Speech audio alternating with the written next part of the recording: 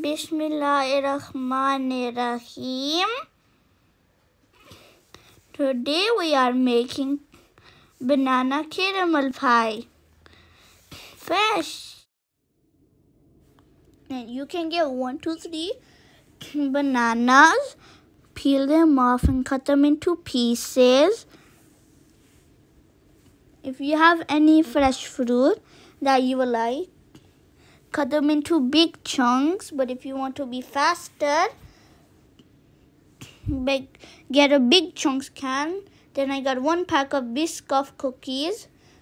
Then I cut then I cut the butter into three slices. Then I did the then I got the double cream in a bowl. When I mixed it up, and now I got caramel.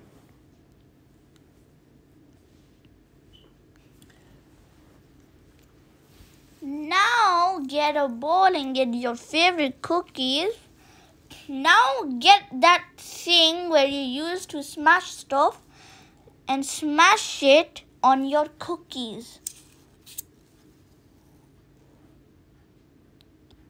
Now, now it's your choice to smash it into crumbs or powder.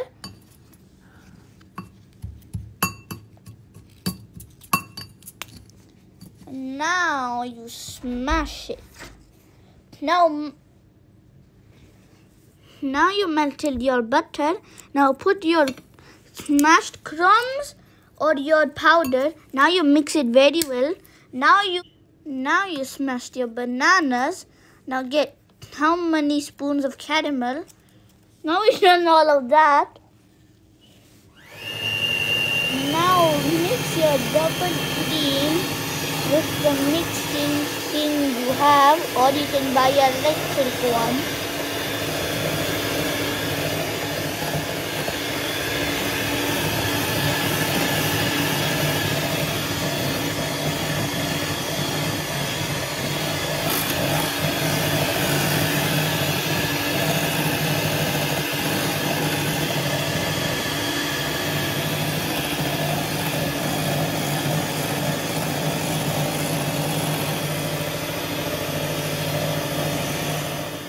Now you put your smashed crumbs or your powder in there.